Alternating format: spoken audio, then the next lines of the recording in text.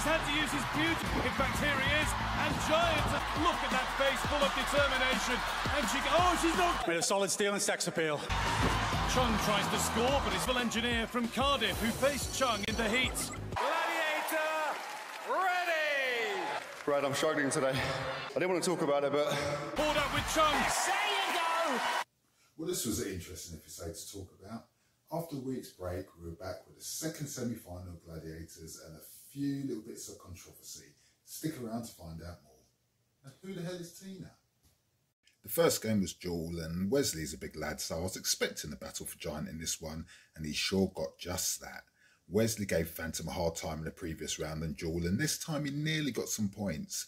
It was Giant's hardest match by far. It probably lasted longer than all of his other matches put together. He knocked him off with one second to spare, but here was the controversy.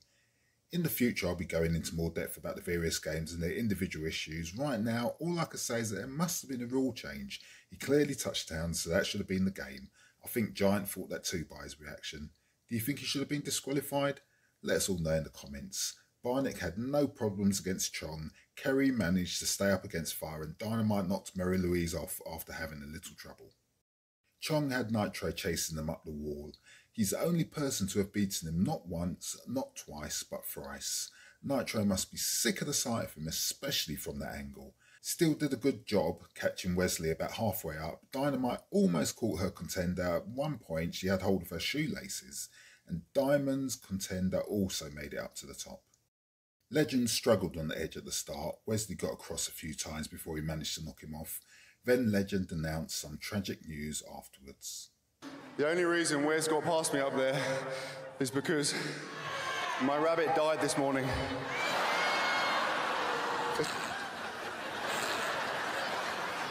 Why are you laughing? What's wrong with you? Well, I'm sorry to hear that. What was your rabbit's name?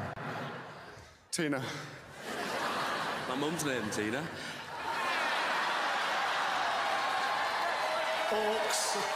Apollo just wasn't having it with Chung's speed. He knocked him flying in seven seconds. I think he upstaged Legend there during and after the game.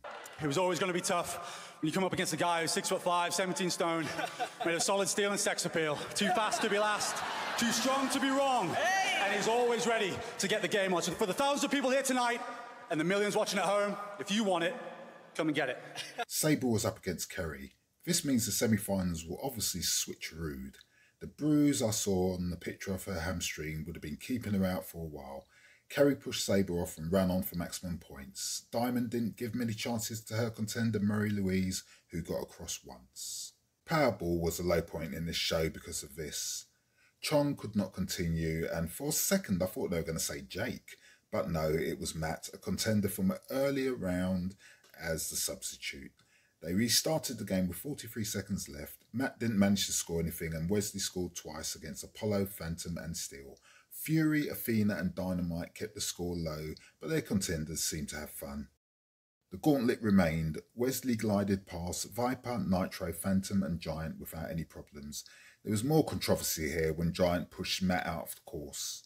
Matt, because you deliberately left the gauntlet in the last section, you will repeat the last section. Oh, I'm sorry, what?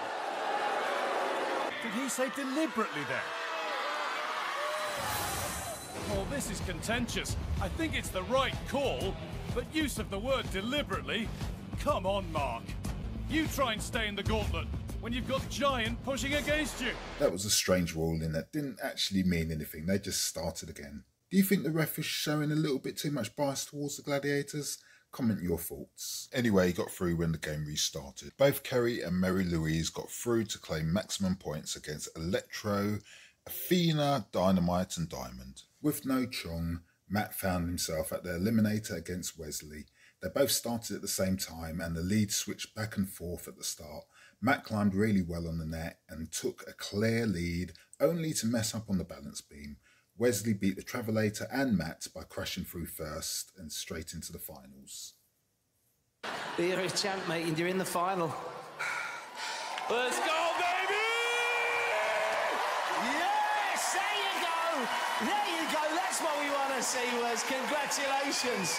The female eliminator was a done and dusted deal with Kerry starting nine seconds before Mary Louise. Kerry is strong, so it should have been no problems for her.